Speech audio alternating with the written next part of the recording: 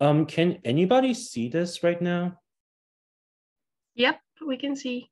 Okay, it says digital marketing trend. Can I get thumbs up? I could see everybody's face, by the way. If you could able to see the like the whole thing, just give me a thumbs up. Like this. Okay, yeah. Okay, that's that's great, Sarah. Thank you. Okay, awesome, awesome. Okay, cool. Um okay. Um so um before I start with the lecture, I, I since you guys are, you know, so how many so let me just ask a question. How many of you are writing a big paper uh for your final assignment in some classes? A huge paper. Can I get a thumbs up if you're writing a paper? One, two, three. Oh wow, just three of you. Okay, well, anyways, um, I just want to like share like one um the AI program that I think is really useful, just like a Wordtune, but it's much more uh, interesting. Um, so okay, so I'm just gonna uh, introduce this AI pr uh, writing program called Hyperwrite. Of course, there's other so many like AI programs out there, like Grammarly, uh, Wordtune, which I just introduced a few weeks ago, um, uh, Quillbot, so on, and so many great um, apps out there that's really does wonder for oh, for your writing. Um, but the thing is, sometimes it's kind of tough to find the right idea. I'm sure when you write a paper, right, or the hook that you need to begin a piece of content. So for me, that's how I feel sometimes because I, I, have to write a lot of paper. Um, but I just want to introduce um, this Hyperwrite, um, which is I don't use this, but I use this for like when I'm doing a promotion for conference talks and they need like really one liner or something like that. Um, you know, I I mostly focus on my energy on my own writing rather than just promotional poster. So I can't. Sometimes I rely on this, uh, not a lot of times, but my friends working in the ad advertising work on this a lot. So Hyperwrite is an AI writing app. Um, I want you guys to like, you know, while I'm actually talking about this, you may, if you're using a PC right now, I want you guys to like um just search for Hyperwrite and just start working out, working for yourself. This is gonna do wonders for you in terms of coming up with some ideas for writing, a, not just writing a paper for your assignment, but also um, for coming up with some ideas for uh, doing uh, copywriting for advertising or some marketing stuff, you know, that's gonna be really helpful, right? So, um, so it's an AI, right? So I usually, uh, if you go onto the website, uh, you have a PC, I, I really suggest you do that. So I started a new document earlier, I said like basically do some like screenshots and paste it in prompt. So I just typed in right here. It said, um, being creative is difficult. That's where AI can help. That's what I just wrote here.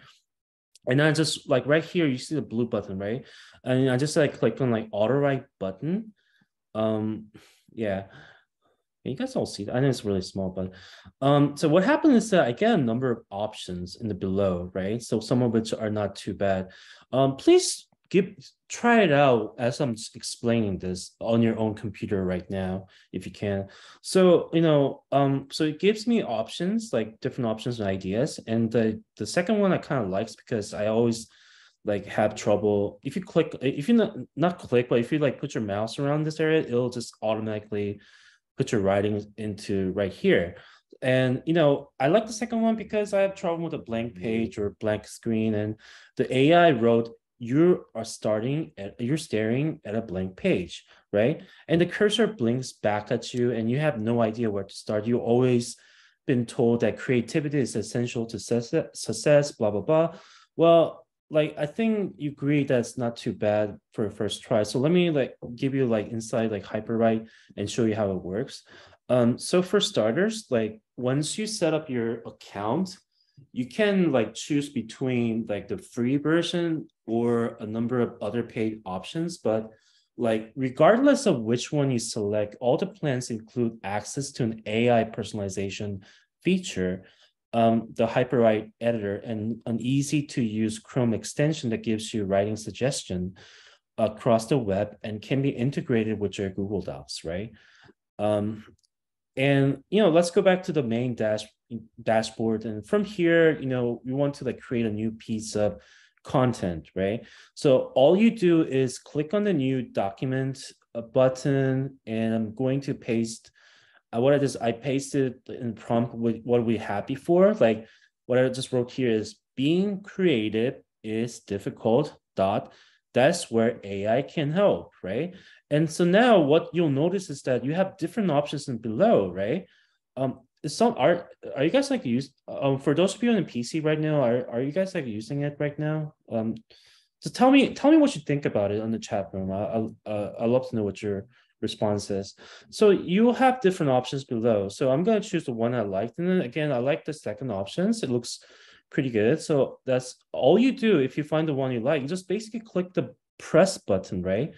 And it's added to your text. And now you can type in here as well, right? Um, or or you can just add more content below that if you want. So it's all up to you how you use it.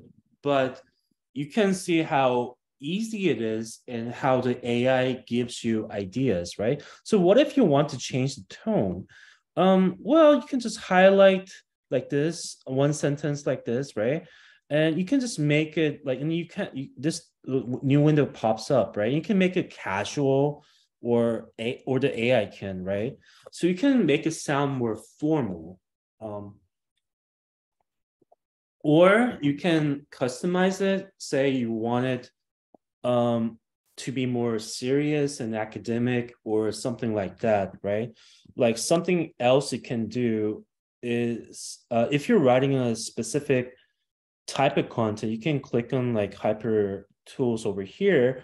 Um, and you'll notice you'll you're taking to a whole bunch of different essay, uh, sorry, different uh, different easy to use tools that you can use, whether it's a blog outline generator, uh, could be a grammar fixer, maybe a keynote generator, product product descriptions, meta descriptions, blog post ideas, or Instagram, you know, writing ideas. You know, if you're using a lot of TikToks and you, you need, you know, there's some their description are short, but if you want to write a longer ones, this this is like really comes in really handy.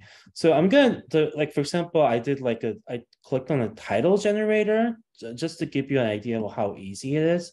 So what I'm going to do is just paste and copy that the AI wrote for us, right? Which is this one right here. Um, I know it's just like all screen capture, but, but anyways, I put the paragraph right here and the AI is going to read that in the way that AI can read and it's going to generate a title, right? So you give me some titles right here.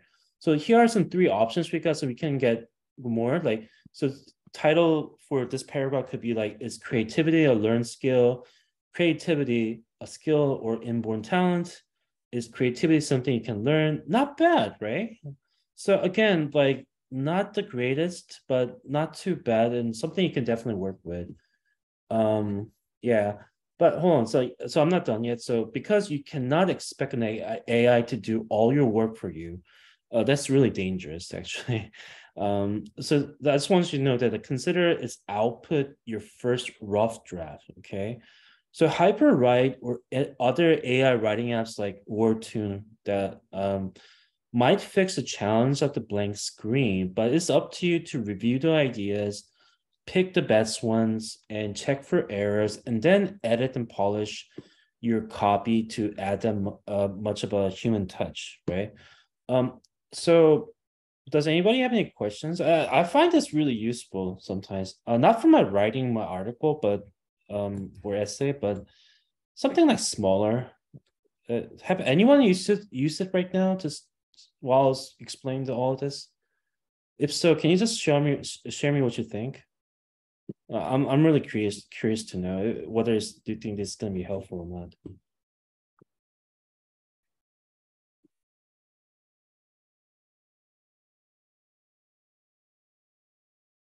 Yeah, well, okay, well, well, I just well, anyways, that was a uh, that's my recommendation, anyway. All right, so let me just talk about the digital marketing trends of this year. Um, yeah, just let me tell tell you about this. So the thing is, um, um right so you might find this hard to believe but there was a time when i thought i knew everything i needed to work in uh, in pr so of course uh um you know so i may have been like naive but i had some years experience under my belt and many successes before i like turn turn my career to academia and teaching at a university. So all that that all changed with digital and social media, right? So I discovered there are so many things I didn't know or had to learn. So I felt overwhelmed, but I decided to do something productive about, about it. Um, you know, so I started reading blogs and tech publication, uh, following the platforms and thought leaders, finding out about the latest digital trends, writing about them, and testing them out. It made me feel like I'm a student again. I kind of loved it. Um, yeah. Um, and also, I kind of look at all these social media experts. I kind of talk to them, um, listen to their talk or or conference. Um, you know, who people who conduct like social media trainings and workshops for companies of all sizes, and you know, um, I, I, I mean, for me, like I, I see myself as like a lifelong learner and digital trend hunter, and I, whenever I look at all these um things happening out there, I mean, especially the one that I just introduced you, like the Hyperwrite. I mean, there's so many. Like when I, somebody they write better than me, I'm just like amazing. You know, there's you, you, it kind of tells you that um you'll never know what you're gonna get in the near future. Like there probably there are gonna be people like writing for you just because you write few sentences and they're gonna write the whole paragraph, which is this is crazy. Um, but anyways, um, but right now today I'm gonna be covering what's new uh this year. Um, but more important how the changes affect your like your business or your career tra- trajectory and what other companies are doing to adapt, right? Um, yeah so i'm just gonna you know try to talk about stuff that kind of gives um that even gives me like more motivation to keep up with the latest and greatest and share what i find with you so yeah i just want you guys to remember that um you know this thing's like trend changes a lot and um so I, I think it's really important for me to give you some like what what's what's new out there in this within this marketing field? Um, okay, so thing is, uh, I'm gonna give you some tips on that how to navigate to um tips on like how to get the most out of this course or this today's and next week next lesson is going to continue into next week um so it's it's designed to help you stay on top of like digital marketing trends. And that's why we are sharing like i'm sharing like new lessons um for today and next week. So but the course is that um isn't today's and next week's lesson isn't just about what's new right? This also reveals how marketers apply their strategic and create creative minds to the latest digital innovation and how they test learn and adapt right so I've divided this uh, this lesson into four main chapters or themes.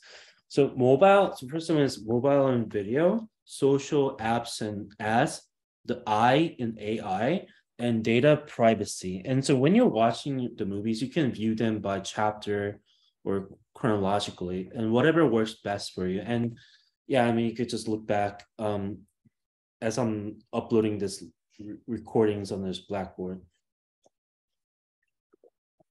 Um, and the first, the first one or two um, lessons are foundational and set the stage for what we're be looking at as the course develops, right? So I suggest you start with those, I guess, which I'm going to be talking about right now. Um, and we're also going to look looking to make this a collaborative experience by um by you know letting you know all these like and share these any digital marketing trends or news that catches your eye. Or maybe you have questions about one of the trends. And yeah i mean if you have questions about this just let me know. And yeah just uh, if there's one thing for certain, I think is that changes to the digital landscape aren't going to stop or slow down anytime soon. Then think of this as a journey of discovery we're all in together, right? So let me just start with the first lesson, mobile and video, which is a foundational part.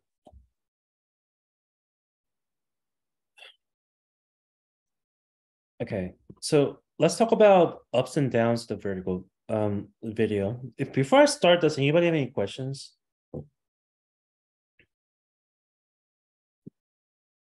Okay, so do you guys know this phrase stand up straight, right?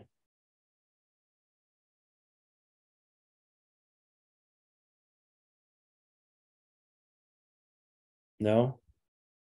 Okay, so uh, I about this term stand up straight, I kind of heard um it's something that I heard all my life as a kid. Um maybe you did too. Um you could call that the first like vertically inspired performance, which may or may not the be the precursor to vertical video. Mm, probably not. Like, okay, so vertical video, that is video we consume in like portrait mode, right? Not like this, but like this, right? Um, so portrait mode on our mobile device has certainly come of age, right? So the term like was coined by Snapchat, but has been popularized on Instagram and Facebook, and now is gaining even more traction with IGTV. And IGTV is a is Instagram's take on longer form of vertical programming. The shows can be up to an hour in length and well produced, which means brands needs to create higher quality vertical video content. Instagram even created a handbook for social video creators. So they they offer tips on how uh, uh, they offer tips on apps and tools and how to capture and edit what accessories you'll need and how to upload from mobile and desktop. So they're hosting it on Dropbox and you can download it from there or directly to your desktop device, right? Um, so idea is reminiscent of what users see on Snapchat's discovered channels, uh, where brands and publishers create original vertical formal shows, right? Um, right. So the vertical video is an anathema to film enthusiasts because of its small, narrow screen. I mean, you don't let you, um, you don't like you know get to see what's on the edges right? And even the well-respected like bbc which as a television broadcaster um produce most of its like broadcasting for the wider screen develop a vertical formal a format for its app knowing that nearly half of its digital news videos are watched there. Um so like the early days of the uh, like the early days of TV, the vertical videos is described as a close-up medium, and that works well on a mobile device, or perhaps it's just capitalized on a natural smartphone behavior. You see, like 94 percent of us hold our, hold our phone vertically when we're recording videos and three quarters of millennials watch video vertically on their mo- mobile device, right? Um, aesthetics aside, if you want to engage your customers on mobile, you need to embrace vertical video. Our eyes may take in the widescreen when you, we're looking around us, but on smartphones, it's not a panoramic view. It's more of a like up and down, right? Okay, so before I move on, does anybody have any comments or questions about this? Uh, if you do, you can just comment. If you have comments about this, so you can just write your thoughts in the chat room if you like.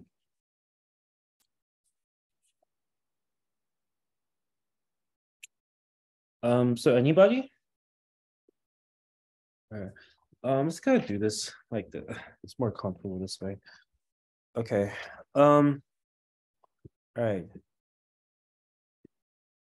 So any any comments so far? Okay, so does this sound familiar? So you're in the like middle of one thing, and all of a sudden you have a urge to grab your smartphone and find out something else, right? I do that. It's probably more than I should. And you know, I just realized that I'm not alone because 91% of us exhibit that type of behavior. Google called these short bursts of interest micro moments, and they divided them into like four main types. So I want to know moments are when we want to learn or discover something, right? I want to go like focus on locations. I want to do is when people are like looking for ideas, right? And of course, like when you're ready for to purchase, that's like I want to buy moment, right? So what are we looking at? I mean, it could be anything. Like say it's the middle of the winter, right? And we just feel the need to get away somewhere warm. And that's an I want to go moment, right? Maybe you're busy parent or maybe you're a busy student and you need to find out how to uh crotch a, a tea cozy for your uh for yourself on or your for your school project so that's like i want to do moment right um or you could be a reporter um once you graduate searching for background and story that's like i want to know moment right? Um does it make sense? Like just just ask me questions if that doesn't make sense. Uh, anyways uh moving on. So the key is for brands to create mobile friendly content that's helpful relevant and accessible when your customers want it right so in micro moments we need to shift the way we reach our audiences by like understanding their lives rather than just focusing on demographics so in fact like researchers uh, estimate that brands are missing out on seven out of 10 potential customers if they just use traditional targeting. For instance, like 40% of our baby products are bought by people who live in households without kids. And 45% of home improvement searches are done by women. Home Depot used this insight to create a series of mobile DIY do it yourself how to videos they anticipated customer intent and were there to solve an unmet needs.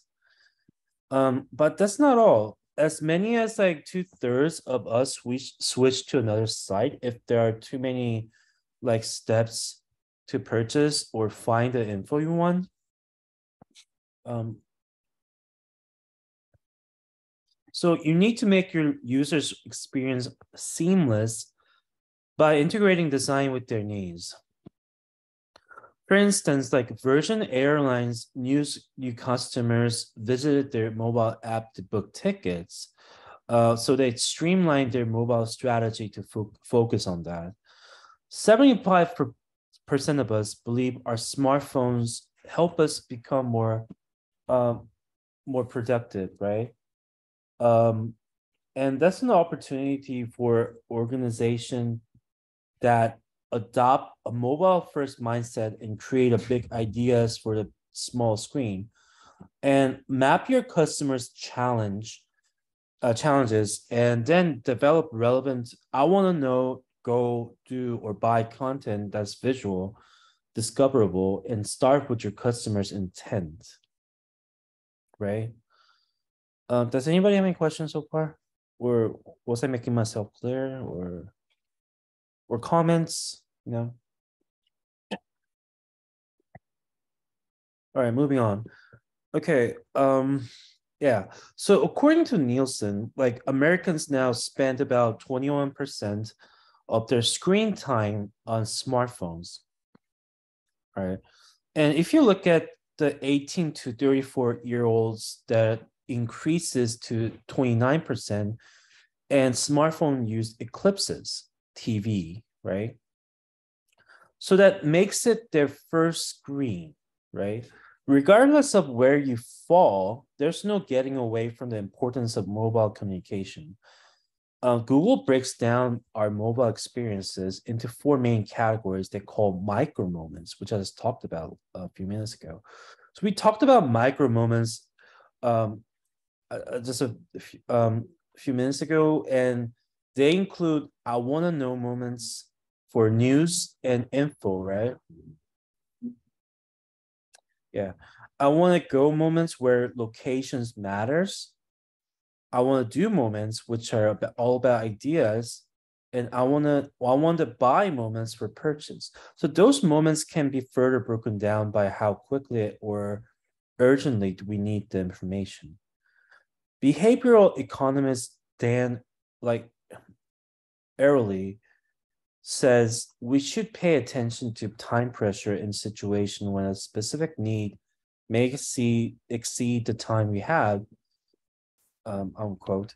So and that means that you want you will want to consider the content your brand develops from another per perspective, right? So here's an example. Say you're booking a vacation, you may spend days or weeks searching for the perfect getaway. And you may compare locations, the type of vacation you want, the cost where you'll be staying in this these situations. If you had a good experience, loyalty can play a part. But what about a case when you're traveling on business? You're stuck at the airport at 10:30 at night. You just found out your flight home has been canceled. Your uh, canceled. So, so you need to book a hotel and fast, and it's going to be relatively close to the airport because you don't want to spend a lot of time getting there the next morning to catch a new flight, right?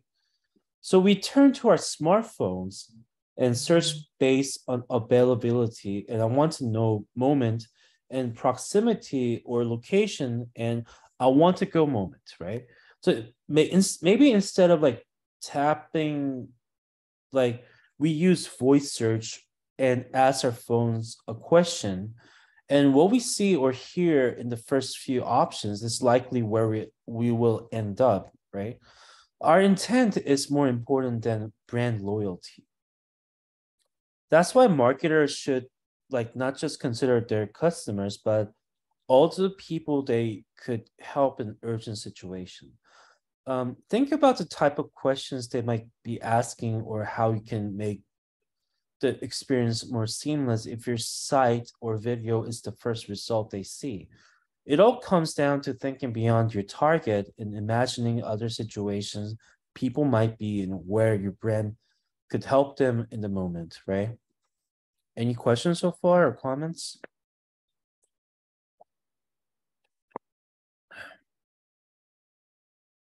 Okay. All right, well, no comments, then I'll just continue. So how do you count a video view? Well, if I was like counting and this was like video, like my metric would be, did you make it all the way to the end and get a couple of valuable get takeaways? Of course, it's a lot more complicated than that, and it underscores the challenges of industry-wide standards for measuring the success of video campaigns, right? For starters, like many of the social platforms look at views differently. YouTube's TrueView and Google's display network ads count a view as 30 seconds of watch time or a full ad, right? Um, if it's like shorter than that. Like Pinterest, Reddit, LinkedIn, and Twitter say a view consists of two seconds with 50% viewability. Although Twitter also counts turning the sound on or clicking on a video to expand it. And beyond that, one makes up an impression or engagement, or how would you define that? Can you compare TV ads to video on social? There are so many elements to, to consider. That's why the Media Rating Council, or MRC, worked with other 175 businesses, including the Interactive Advertising Bureau to develop its new cross media measurement standards. MRC is a not for profit industry group founded over 50 years ago with a goal of developing TV measurement standards that are valid, reliable, and effective. Its members include brands, agencies, and trade associations. So here's an overview of the MRC's standards being launched in 2021. First, there's a definition um, of viewability, right? In order for a view to be considered an impression, a video must have 100% of its pixels seen for at least two consecutive seconds.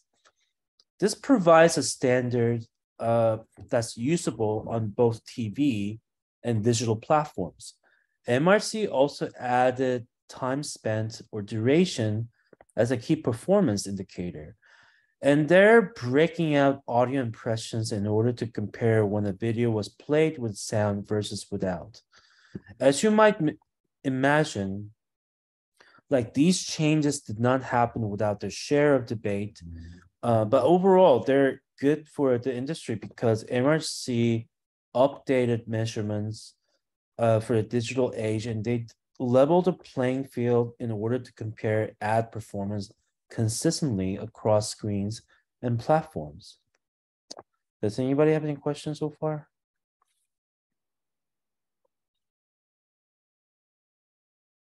Okay. All right, so there's no doubt working with the influencers is on the rise. So according to the report by Business Insider, by 2022, um, companies will spend as much as like 15 billion dollars on influencer marketing. Today, nearly 80% of influencer programs happen in Instagram. Yet, like the landscapes, um, landscape and rules of engagement, like continue to change, and it's difficult finding the influencers who are a good fit for your audience and brand. Are you looking for reach or to build awareness? If you have the budget, you may want to consider digital or traditional stars, or maybe you'd rather have closer relationship with your influencers. That's where a more niche group like micro influencers comes in, right? So micro influencers, the most popular influencer group on Instagram, have fewer than like 10,000 followers, right? Because of that, their rates are generally lower than stars, and this provides an opportunity for smaller brands who may not have the budget to afford a celebrity to develop develop an effective influencer plan. So that's why you might see like a smaller like YouTubers like doing up like you know advertising which is kind of surprising sometimes. So that's like another tactic that you probably notice if you're watching a lot of YouTube or like Instagram or whatever. Um, so now if you want to get even more niche, there's a category called nano influencers who have between 10 to 5,000, uh, sorry, 1,000 to 5,000 followers. Uh, does for those, does anybody have like 10,000, uh, sorry, 1,000 followers? you can brag about if you want. Anybody? I have about like 300 followers, which is not bad. Anyways, um, nano influencers usually cost even less than micro influencers because their reach is lower and they're often more specialized, right? So nano influencers are also closely connected with their followers, right? Um, who consider them almost like a friend and that can result in higher trust and engagement, right? But because they may be hobbyists, it could take more time to manage them. And because they have less than 10,000 followers, nano influencers aren't able to share a link right from their post, only in their bio, and that makes attribution and ROI a bit harder for brands, right? Um, and then there are bots or virtual influencers, like little Miquela. Little Miquela has like 1.6 million followers on Instagram. Does anybody follow little Miquela? Anyways, um, if you do, just let me know. If uh, I'm really interested in what you think of that. Yeah, Bob. But anyways, th- that influ- virtual influencer that has some promotions for brands like Prada, or Calvin Klein and release songs on Spotify, even though she or it is just a computer generated creation owned by a company. So avatars like these are becoming more popular at engaging with consumers. And in an era of deep fake videos and concerns around privacy and ethics, we need to ask ourselves whether virtual influencers should be forced to disclose, dis, disclose like they're not human in the same way human influencers must disclose payment, right? So if you're a brand that wants to work with influencers, how would you get started? First, establish a budget and whether you're going to reach for a need or niche. Then determine what success looks like uh, and develop metrics tied to business goals. When you choose influencers to work with, be sure your brand values are aligned with theirs, right? Define the scope of the partnership, but also give influencers the freedom to be creative. They know their audience better than you. And while Instagram is still the most popular platform, remember you can also create programs on YouTube, uh, Pinterest, Twitter, and even like an, an influencer influencers blog, right? Okay, does anybody have any questions so far?